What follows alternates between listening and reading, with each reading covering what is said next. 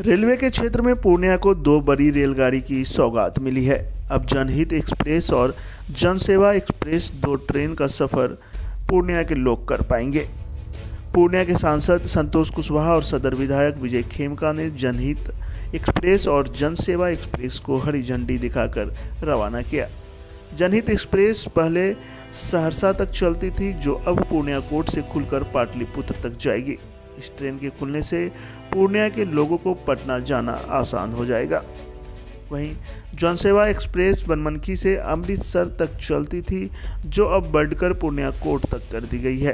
पूर्णिया के सांसद संतोष कुशवाहा ने बताया कि प्रधानमंत्री ने वीडियो कॉन्फ्रेंसिंग के ज़रिए दोनों ट्रेनों का उद्घाटन किया था, जबकि हमने हरी झंडी दिखाकर जनहित और जनसेवा एक्सप्रेस को रवाना किया है। उन्होंने कहा कि अब आने वाले दिनों में रेल के मानचित्र में भी पूर्णिया की पहचान और बढ़ेगी।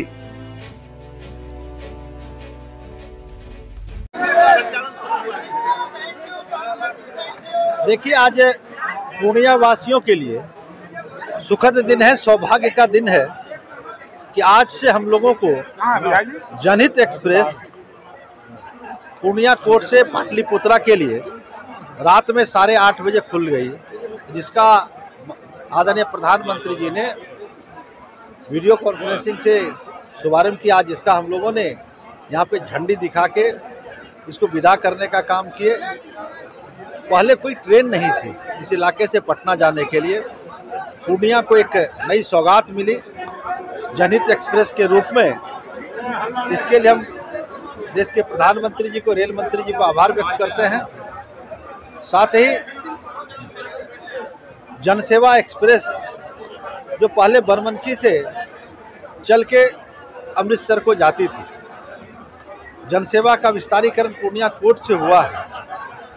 इससे भी पूर्णिया के लाखों लाख लोगों को फ़ायदा होगा। जो दिल्ली जाना चाहेंगे, अमृतसर जाना चाहेंगे, इस ट्रेन से लोगों को लाभ मिलेगा। तो आज दो नई ट्रेनों का हम लोगों ने शुभारंभ यहाँ से किया है और आने वाले समय में और भी रे, रेलवे के क्षेत्र में सुविधा के क्षेत्र में और भी काम होने हैं। डबल इंजन की सरकार है। नरेंद्र मोदी जी के नेतृत्व में आज ही प्रधानमंत्री जी ने कहा है कि अगले पाँच साल में रेल प्रायोरिटी में है और काम होगा। तो मुझे विश्वास है कि पूर्णिया में वाशिंग पीठ से लेके लंबी दूरी की ट्रेन वंदे भारत जैसी ट्रेनें पूर्णिया को भी मिलेगा। सीमांचल को मिलेगा, ऐसा मेरा विश्वास है। या तो वंदे भारत ट्रेन पूर्णिया कोर्ट से चले, या जोगबनी से चले, यह मांग पूर्व में ही प्रधानमंत्री जी से हमने किया है और रेल मंत्री जी से भी किया है। और आने वाले समय में वंदे भारत जैसी भी ट्रेन पूर्णिया को भी मिलेगा, ऐसा मेरा पक्का विश्वास है। और रेल के क्षेत्र में जो पूर्णिया मानचित्र में पीछे था, अब निरंतर तेज़ी से आगे बढ़ रहा है। अब एक ट्रेन पीछे ही सिल्लीगुड़ी जाने के लिए जोगबनी से सिल्लीगुड़ी का भी शुभारंभ हुआ है। आने वाले समय में और भी ट्रेनों का शुभारंभ होगा। निश्चित रूप से दो ट्रेनों को ठहराव के लिए हम लोगों ने मांग किया था हाटे बाजारे और जानकी एक्सप्रेस के लिए। जानकी एक्सप्रेस का ठहराव हो गया है। अब बारी है हाटे बाजारे की। हाटे बाजारे को भी हम लोग ठहराएँगे और माननीय मंत्री जी से बात हुई है। रेलवे बोर्ड में उसका भी प्रस्ताव लंबित है। और जो कटिहार कटिहार कटिहार से लेके पटना को इंटरसिटी चलने वाली है। ये रेलवे बोर्ड में लंबित है। आने वाले समय में वो भी विस्तार होगा और आने वाले समय पूर्णिया को और भी ट्रेनों की सौगात मिलेगी। देखिए, पूर्णिया के लिए आज बहुत ही खुशी का दिन है। इसलिए खुशी का दिन है कि रेल के क्षेत्र में पूर्णिया सीमांचल क्षेत्र उपेक्षित रहा है।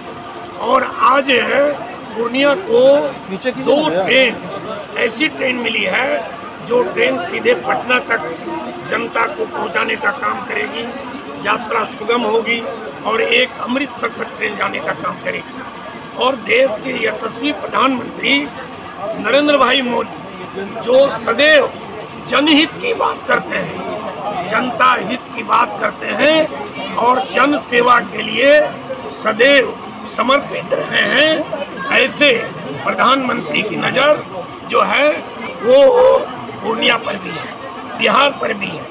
और इस दृष्टिकोण से हमारा पूर्णिया रेल के क्षेत्र में आगे बढ़ चला है।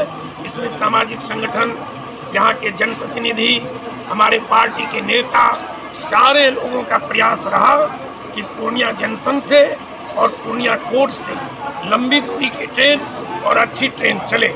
आज हम सबों ने एनडीए के कार्यकर्ताओं ने, एनडीए के नेता ने, भाजपा के नेतृत्व में, जदयू के नेतृत्व में, सांसद भी थे, मैं भी उसमें हूँ और सारे लोगों ने मिल करके जनहित और जन सेवा ट्रेन को हम लोगों ने हरी झंडी दिखाने का काम किया है। और ये झंडी हरी है, ये बिहार की झंडी है। इसलिए कि भारतीय जनता पार्टी के नेता नरेंद्र मोदी के नेतृत्व में पूर्णिया और भी आगे बढ़ेगा और भी अच्छी ट्रेनें यहाँ से चलेगी।